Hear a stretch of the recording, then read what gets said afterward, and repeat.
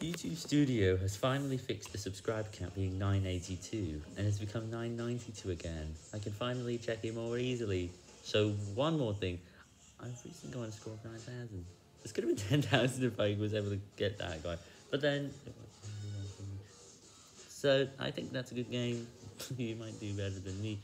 But one more thing, Help Me's graph is very weird. It's now showing about 6,000 where it should be showing around 7,000. That is wrong, and I don't know what the problem is there, but it's weird.